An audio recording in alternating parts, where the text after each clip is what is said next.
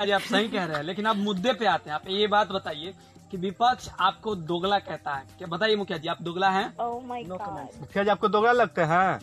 अरे मुखिया जी माधर चौथ हो सकते हैं रंडी वाले हो सकते हैं भोसी वाले हो सकते हैं लेकिन मुखिया जी दोगला नहीं हो सकते हैं। क्या मुखिया जी आप दोगला हैं? अरे माधर चोर